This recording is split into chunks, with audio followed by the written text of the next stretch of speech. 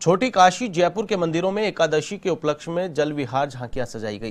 Tripolia gate स्थित आनंद कृष्ण बिहारी मंदिर में जल विहार की झांकी का आयोजन हुआ। इस मौके पर ठाकुर जी को गर्मी से निजात दिलाने के लिए सुगंधित फंवारे से स्नान कराया गया। भगवान को पोशाक धारण कराई गई, चंदन का लेप लगाया गया और ठंडे ऋतु फलों का भोग लगाया गया। वहीं भगवान की महाआरती की गई। कोरोना महामारी के चलते भक्तों का मंदिर में प्रवेश निषेध है, इसलिए भक्तों को ऑनलाइन झांकी के दर्शन करवाए गए।